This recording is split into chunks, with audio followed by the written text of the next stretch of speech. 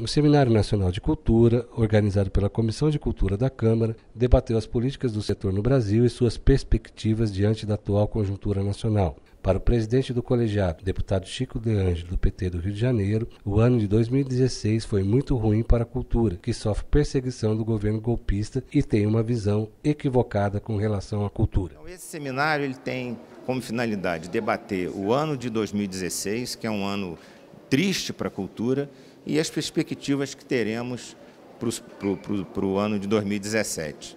As ocupações ocorreram em vários locais, em, praticamente em todo o Brasil, é, no, nos espaços culturais, na resistência. Os artistas tiveram um papel fundamental na defesa da democracia. Talvez por isso, talvez não, por isso mesmo, a cultura é, tem uma, uma, uma sofre uma perseguição muito grande desse governo que tem uma visão autoritária e uma visão equivocada com relação à cultura.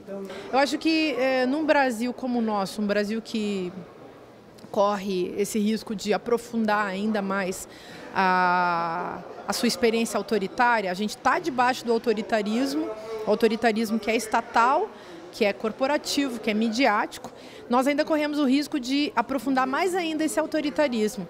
A cultura, nesse processo, o campo da cultura, a produção cultural, a produção artística, que faz parte da produção cultural, são parte do processo de resistência. E é claro que nessa hora a cultura também se confunde com política.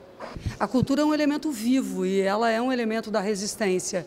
Ela produz resistência todo o tempo, sobretudo quando a democracia está ameaçada, porque o ambiente cultural ele precisa da liberdade para afirmar-se.